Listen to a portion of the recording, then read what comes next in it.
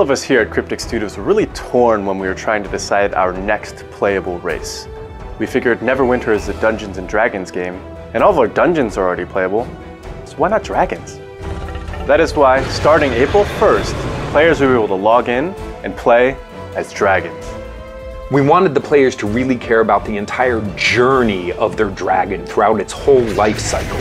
Starting out as a little dragonling, growing all the way up to an epic, gigantic dragon. So we, we know there's uh, there's a lot of players out there that love to show off their parkour skills. You know, getting up into areas you know that are sort of off limits and, and sort of out of the gameplay space.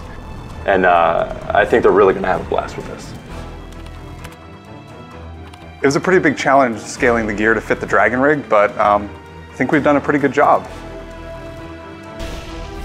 Still a couple of issues left. Like, they're a little OP in PvP right now, but we're working on that and we'll get them balanced real soon.